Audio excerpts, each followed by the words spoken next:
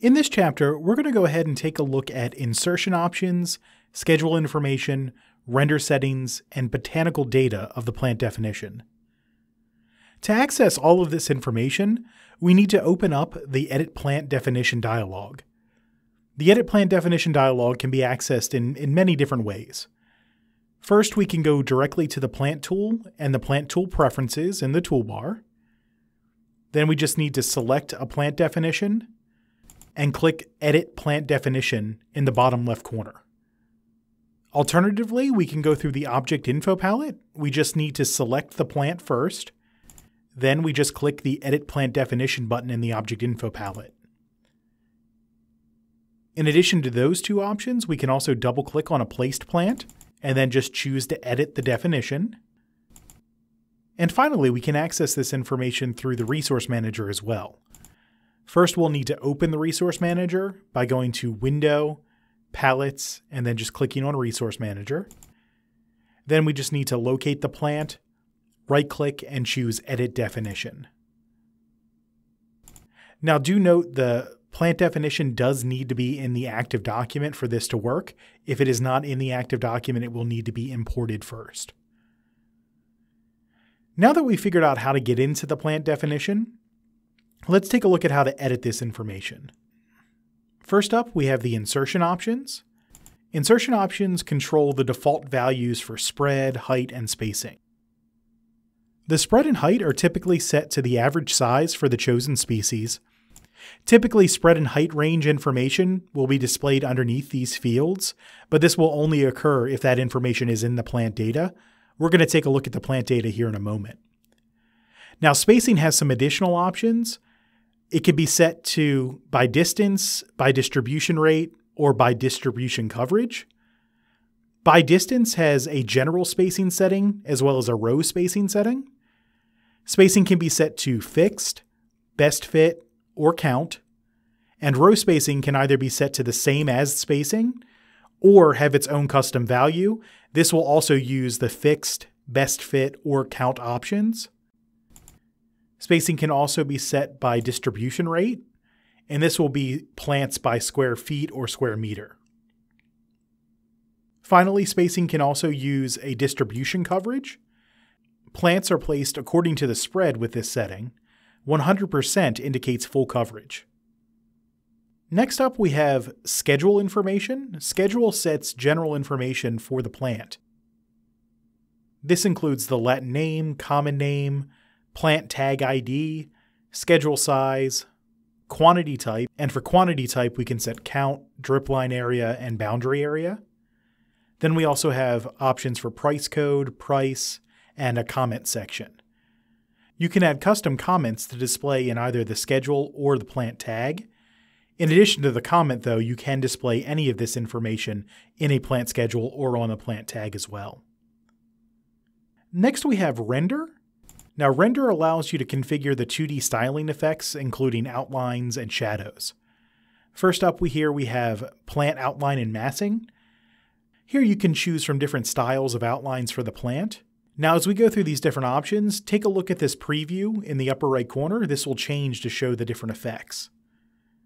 So first up for the outline options, we have no outline, which is exactly what it, what it sounds like. There's no outline.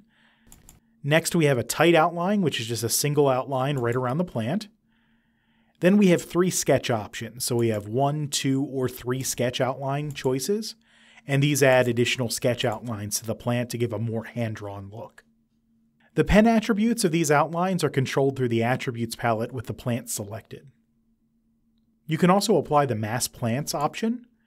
This will hide interior line work and other details of the plants, creating a continuous outline for a plant mass. The 2D attributes of the masked group are controlled by the backmost polygon in the 2D graphics of the plant. If you're not familiar with the different parts of a plant object, specifically the 2D graphics, take a look at the Plant Definition Graphics chapter. The massing option is mainly meant when you have a mass of plants or a group of plants you want to show with one continuous shape. This is not meant to be used to hide interior detail work like lines or different bloom options, for instance. For that, you're going to want to use visibility control of the different plant component classes. Again, all of this is covered in the previous chapter. If you want to see an individual rendering for each plant, though, you do want to leave this option unchecked. Next under render, we have plan shadows. These settings control a 2D shadow effect. This effect only appears in a top plan view. You can choose to use a universal document wide shadow setting or set a custom shadow uh, per plant. The document plan shadow settings are accessed through the Settings button or by going to File, Document Settings, Document Preferences, then Plant Shadows. Whether you set a document wide plan shadow setting or a custom setting, the options are the same. The offset, angle, fill style, and opacity can all be adjusted. The offset can be set using page units, document units, or a factor of the plant height. The factor of plant height option will calculate the offset based on the height set for the plant in the insertion options. This is great for getting a realistic varied shadow effect. The angle is set by an exact angle value or by using the slider to adjust the angle. Zero degrees here is straight up. Fill style can be set to a solid color, hatch, image fill, gradient, or tile. The fill can also be set by a class attribute setting. The opacity percentage can be set directly or by using the slider. There are options to use a class opacity setting, as well as options to show under the canopy if needed. You will want to note that choosing a custom setting for the shadow options will override the document plan shadow setting. For a consistent look, it's a good idea to go ahead and set the plan shadows directly through the document preference setting. Next, we have the plant data category, this contains all the data for the plant. This includes the basic information like Latin and common name, as well as more detailed information like tolerances, as well as water and soil needs.